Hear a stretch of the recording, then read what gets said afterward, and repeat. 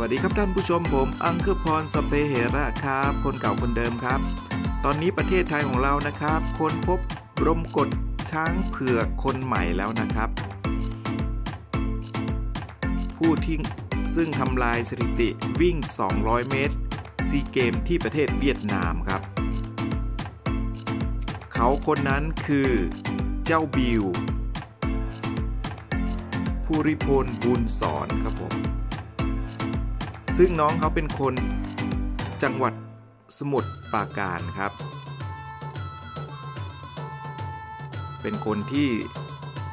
สร้างชื่อเสียงในการแข่งขันกีฬาแห่งชาติ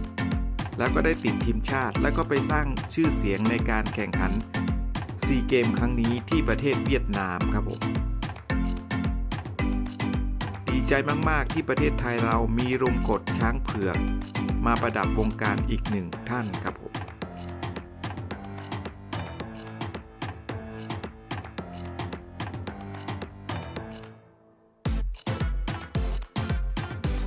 ด้วยการวิ่งที่สวยงามนะครับ แล้วก็ความแข็งแกร่งของต้นขาทำให้ไม่เหนือความคาดหมายที่น้องเขาจะเอาชนเอาชนะ ผู้แข่งขันรายอื่น ๆ เราจึงขออวยพรให้น้องบิวนะครับ เอาชนะ 3 เหรียญกลับมาประเทศไทยให้ได้นะครับนึกคือวิ่ง 100 เมตร 200 เมตร และก็ 400 เมตรครับผม ขอบคุณมากนะครับ